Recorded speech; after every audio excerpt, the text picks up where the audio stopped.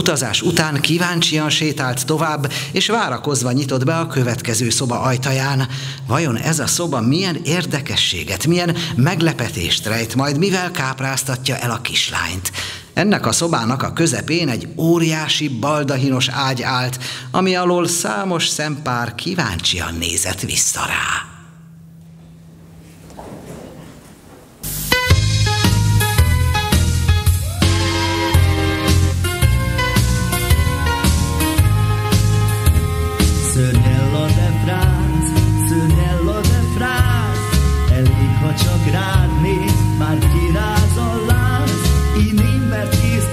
Csapás, ha látsz.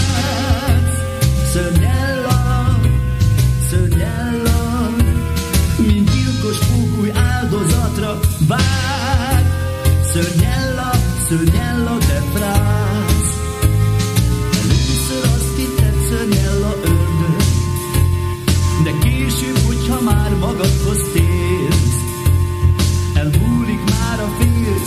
és ráismerni vélsz, hogy ragadozó, ravasz, gonosz dög. Elúgy e vélszopó nőt, egy ketrecbe dugnám, és bezárnám őt, mert nélküled az élet oly csodás.